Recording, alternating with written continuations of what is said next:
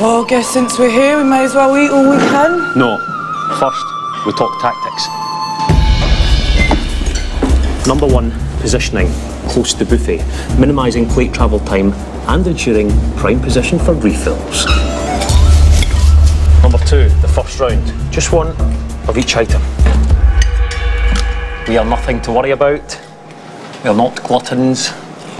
This is the introductory taster plate. We don't want to use stomach space on non-tasty items. Three, when returning to the station for round two, maximise high value items, e.g. prawns, over lower value bulk food such as rice or noodle. Remember, the aim here is not simply to have a satisfying meal out. The ultimate aim is to beat the buffet. There's such a fine line between maniac and genius, isn't there? Finally, four.